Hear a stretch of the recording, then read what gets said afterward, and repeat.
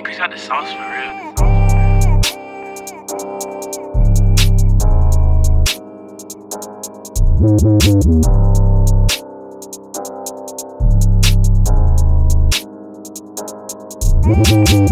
real.